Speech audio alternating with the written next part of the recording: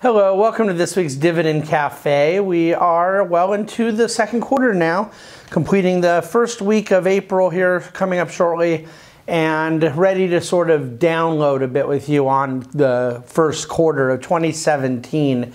Um, despite the fact that the Dow was down 0.7% in the month of March, the S&P was about flat, just a tiny, tiny bit down in the month. The quarter ended up uh, in the stock market up quite nicely, about four and a half percent on the Dow and about five and a half percent on the S&P. So you're looking at about a five percent up quarter to start the year, with obviously all of that coming in the January February portion of the quarter. I think that most people know, and we've certainly been talking about it for successive weeks now that where the market stands is a bit of a pause related to questions around the ability of the Trump administration to execute on some of their pro growth uh, intentions from tax reform and uh, to deregulation uh, to repatriation of foreign profits. Um, and, and a number of other measures that are designed to, to create growth, uh, GDP growth in the economy. Consequently, we believe create revenue growth for corporate America, and then from there create margin expansion and, of course, profit growth. But those profits are the story. There's a kind of easy layup for profits if indeed they get corporate tax relief. By definition, after tax profits go up when a portion of the tax liability goes away. But um, even apart from that, we're going to find out now here into the second quarter if indeed the expectations for earnings growth are materializing. And so the reason why the market's been reasonably still here lately is we're in a wait and see mode the wheels of change in Washington, D.C. are not going quickly, and so we're kind of having to wait out some of those intentions. The market's vote on that thus far has been that they expect it will get done, but now we've kind of priced in a lot of that and we're, we're uh, sitting still there. But then, from an earnings standpoint, uh, earnings season reporting from Q1 will begin at the end of next week, and we expect to see in the second half of April and into the beginning part of May a better understanding of A, corporate American results, corporate America expectations going forward here into the remainder of 2017. So, although we believe the Fed and central bank activity is still out there, they've really largely become a kind of non event in the markets. And I'll give you an illustration of something that took place this week that, that kind of captures some of that. Everyone is aware that the Fed has now raised rates twice, a quarter point each in the last three or four months, once in December, once in March.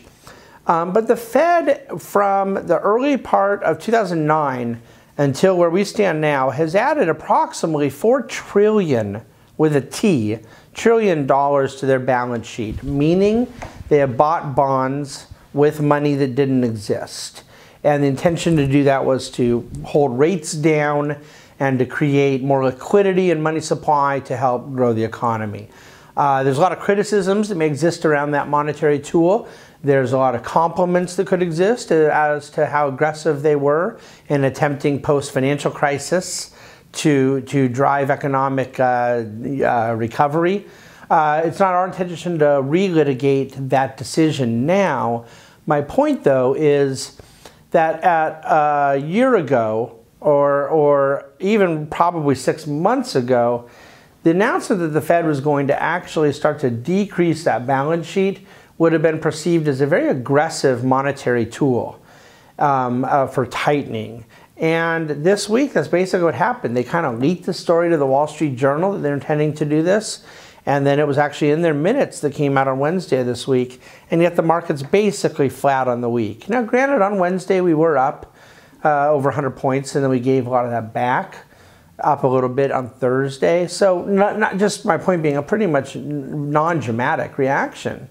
So I think that what you have right now is a total shift out of monetary policy in the driver's seat to fiscal policy, out of the Federal Reserve to the White House, and then corporate earnings driving real investor appetite for the future? Are these valuations, everyone knows they're paying up a little bit, are they warranted given the, the trajectory of profits? That will be the question I think that will define where we go, at least for the next quarter, probably, uh, probably two quarters, I would guess. But in terms of just finalizing that debrief of Q1, we have a lot of statistics and summary of this in the written Dividend Cafe this week at dividendcafe.com. But um, in addition to a really robust performance in the equity market, emerging markets came out as the clear leader, up about 12% on the quarter after a pretty difficult time post election in Q4. The technology sector and the healthcare sector were the big winners in Q1. Uh, telecom and energy were the only sectors that were negative uh, by a bit in Q1. Uh, the other nine S&P 500 sectors had a positive return. Pretty much every element of the bond market was up in Q1. High yield quite a bit. Uh, more modestly so, your high grade corporate bonds, treasury bonds, Fannie, Freddie, agency, mortgage bonds, all a positive return. So, good quarter for investors. Most alternatives with a positive result. We already talked about equities and, and bonds too. So, here we are looking for earnings and, of course, more updates around the political environment and the ability of the Trump administration to drive their agenda that's really in the driver's seat right now, more so than the Fed. I'm going to leave it there.